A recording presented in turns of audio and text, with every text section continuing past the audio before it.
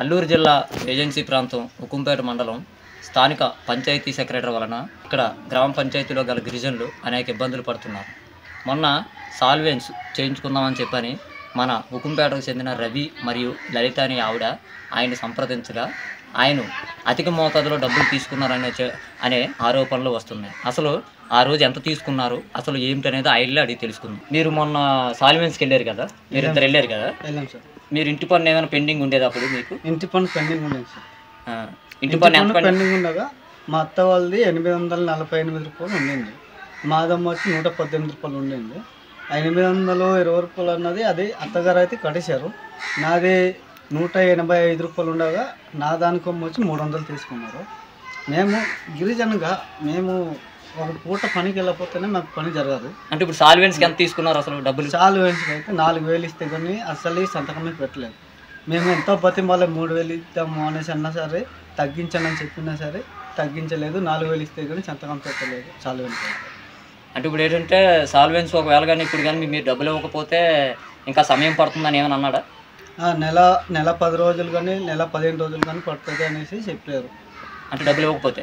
డబ్బులు అది నాలుగు వేలు ఇవ్వకపోతే. అది కాకుండా ఇంటి పన్ను రసీదుతో మొత్తం కలిపేసి అలాగ ఐదు వేలు తీసుకున్నారు. సెక్రటరీ గారు.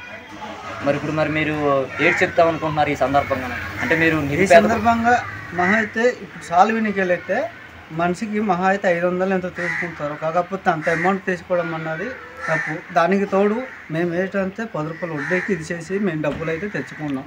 మేము ఒక పూట కొనుకెళ్తే కానీ మాకు రూపాయి కూడదు. బాధితుల కథనం ప్రకారం ఇలాగా మేము ఏదో పర్పస్ మీద మా మాకు సాల్వెన్స్ అవసరం అయిందండి. ఆ సాల్వెన్స్ కోసం అని చెప్పని మేము మన ఉకుంపేట నూతన సెక్రటరీ గారిని కలవడం జరిగింది. వెళ్తే ఇలాగ మీరు ఇంటి పన్ను కట్టాలి పెండింగ్లో ఉందన్నారు. ఆ ఇంటి పన్ను కూడా మేము పూర్తి స్థాయిలో కట్టేసాము. కానీ సాల్వెన్స్ చేయడానికి నాలుగు వేల రూపాయలు అడిగారండి.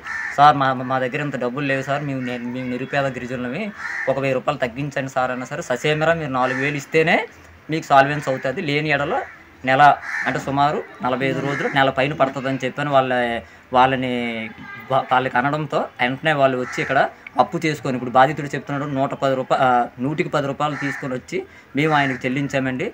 అలాగే మేము చాలాసేపు ఆయనకు బె- సరే ఆయన ఇదవలేస్తారు మాకు ఎటువంటి ఉపాధి లేదండి. ఏదో రోజు కూలికి వెళ్తే మా బతుకు సాగుతుంది.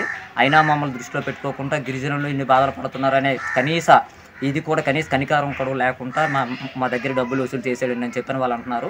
అసలు నిజంగా విషయం ఏంటంటే సాల్విన్స్ ఒకవేళ చేయించాలనుకునేటప్పుడు నాలుగు వేల రూపాయలు ఎందుకు తీసుకుంటారు? అంటే నాలుగు వేల రూపాయలు తీసుకోవాలి అనేది ఏమైనా జీవో ఉందా? లేకపోతే గవర్నమెంట్ ఆదేశాలు ఉందా? లేకపోతే అధికారుల ఆదేశాలు ఏమైనా ఉంటాయా?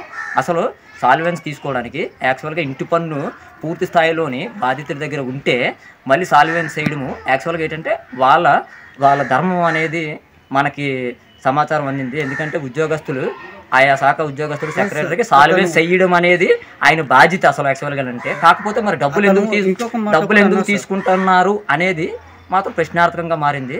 ఇప్పుడు దీన్ని బట్టి తెలిసేది ఏదంటే అంటే నిజంగా అనకూడదు కానీ నిరుపేద గిరిజనులను నిజంగానే ఇన్ని ఇబ్బందులు పెడుతున్నారని చెప్పని మన కళ్ళకు కట్టినట్లుగా కనిపిస్తుంది.